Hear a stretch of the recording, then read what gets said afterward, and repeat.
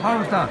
That was great. Um, during the warm ups, my Achilles was hurting pretty bad, so I made the decision to just start a pole bigger, come in a bar higher, and hope that it was going to be one and done. And thankfully, that's how it went. So I'm, it could not have gone better. and what was the home championship what you were hoping for? Oh my gosh, and more. I just I love this track. I I love competing here as it is, and so to have the world championships, you know, my family's front row. It's it's really special.